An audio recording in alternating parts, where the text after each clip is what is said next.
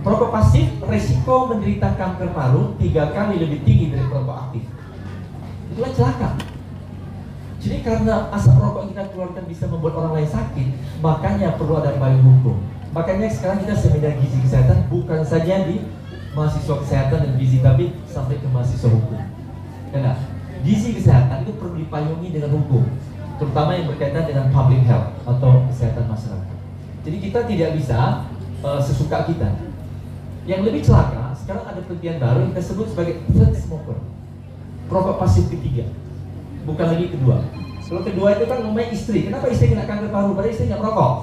Suaminya merokok.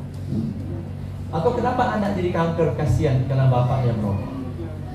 Jadi banyak orang bilang, saya pulang ke rumah saya gendong anak, padahal di, di, di luar dia merokok. Saya bilang itu mencelakai anak. Apalagi anak dia ya, dia, dia gendong dia lalu di, di, di badannya.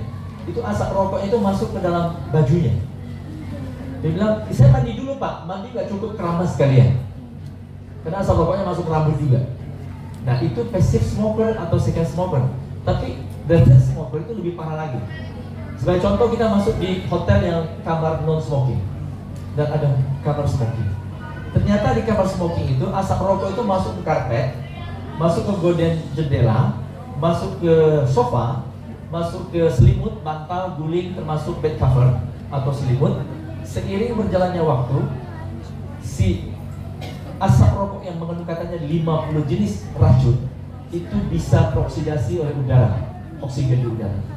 Semakin lama asap itu bertahan dalam ruangan atau kamar maka semakin tinggi derajat toksisitas sehingga racunnya lebih gawat daripada asap yang baru keluar dari rokok makanya ini adalah sesuatu yang kita harus perhatikan kalau kita di luar negeri tinggal di hotel yang berbintang, kita pilih no smoking room, kamar tidak boleh merokok, Anda disuruh tanda tangan surat perjanjian.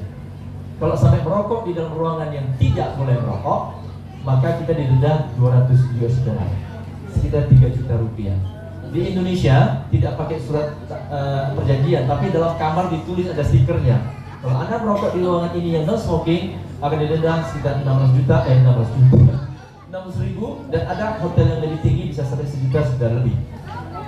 Jadi inilah uh, hal yang penting sekali masalah tidak merokok, ya.